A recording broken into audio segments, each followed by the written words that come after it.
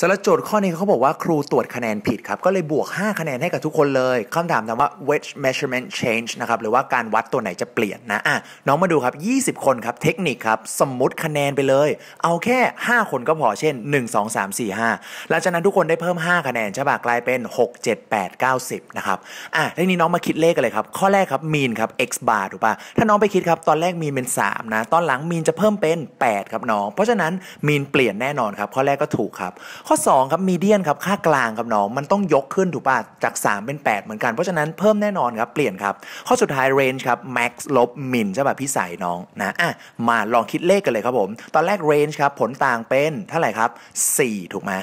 ตอนหลังครับน้อง range ก็ยังคงเป็น 4 เหมือนเดิมนะอะเราก็ range ไม่เปลี่ยนแน่นอนครับผมนะตอบ 1 กับ 2 นะจ๊ะ ส่วนใครอยากได้สูตรครับการบวกค่าคงที่ครับ เช่นบวก 5 เข้าไปเนี่ย mean median mode เปลี่ยนทุกตัวน้องนะ ส่วน range กับ SD จะไม่เปลี่ยนนะครับผม